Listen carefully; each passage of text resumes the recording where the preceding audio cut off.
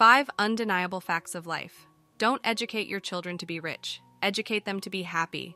So when they grow up, they will know the value of things, not the price. Eat your food as your medicines. Otherwise, you have to eat medicines as your food. The one who loves you will never leave you for another, because even if there are 100 reasons to give up, he or she will find one reason to hold on. There is a big difference between a human being and being human. Only a few really understand it. You are loved when you are born, you will be loved when you die. In between, you have to manage.